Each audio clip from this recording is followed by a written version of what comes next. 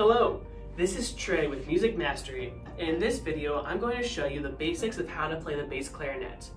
If you're new to the bass clarinet, you probably played clarinet or saxophone beforehand, and the bass clarinet is very similar to each of those.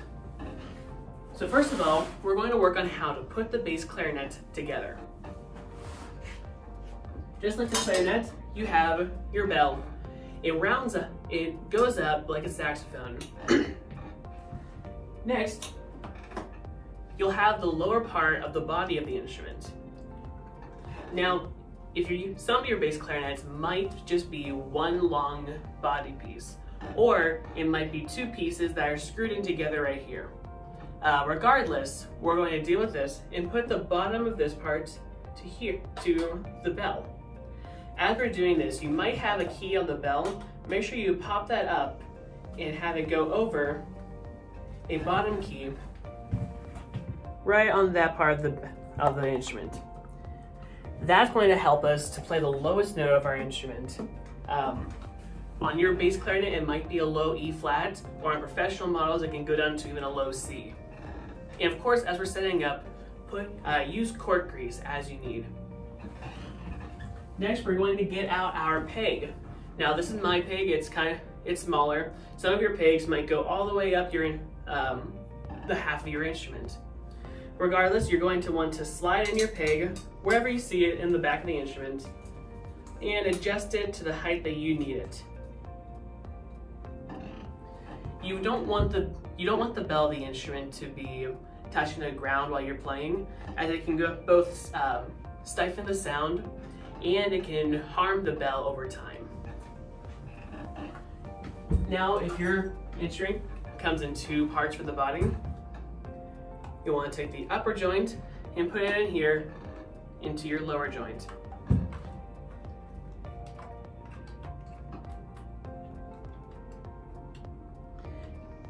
As you adjust it, you'll want to make sure that everything, you want to base it off of how well these two keys are lining up with one another.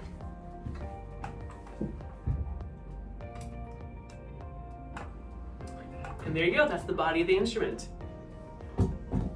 Now we're going to head over to the top part of the instrument. Right here, we have our neck. Uh, it acts very much like the barrel in the clarinet, except obviously it's not very barrel shaped. Um, but just like your clarinet, you will now take out your mouthpiece and slide your mouthpiece on to the neck so it lines up just like that. Gives a nice shape. Just like the clarinet or saxophone, take out your reed, get it wet,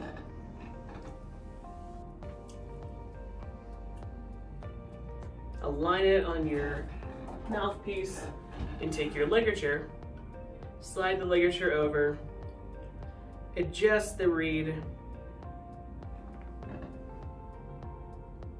and tighten the screws.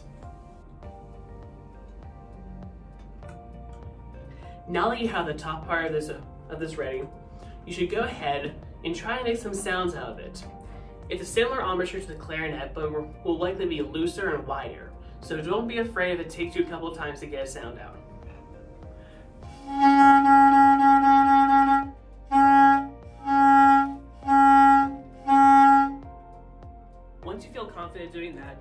Go ahead, take the body of your instrument and put it on there. As you put it on, make sure that they that these keys line up. So whenever you play, press the register key, this top part can come as well. now that you're all set up, go ahead and try to play the play the open G a couple times. If you're new to clarinet, and don't know the clarinet fingerings, feel free to go ahead and look up a clarinet fingering chart online. Uh, but if you're used to clarinets, bass clarinet uses almost the exact same fingerings as the uh, normal B-flat clarinet. So as you're getting ready to play a sound, remember it's a clarinet embouchure, a little bit wider, a little bit looser. It takes a lot of air support. So don't be afraid if it takes you a couple tries to get out a sound, but do your best to get out an open G.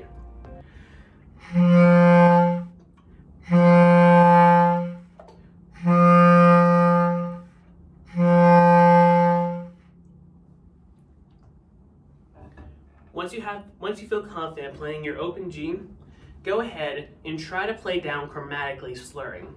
You might find that as you go lower, it'll take it'll be harder to get those notes out. That's just because it, that's just because it requires a little bit more breath support as you go down there.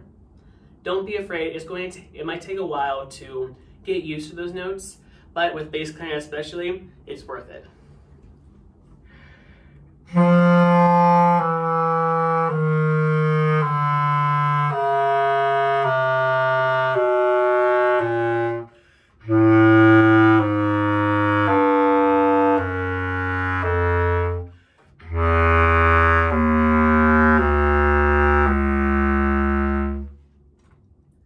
And if you have the low C extension, and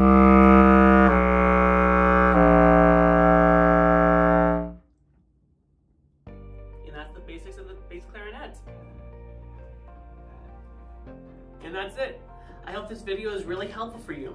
If you're enjoying these videos, make sure to encourage the other members of your ensemble to join musicmastery.band so that everyone in your section will have their parts mastered for every rehearsal.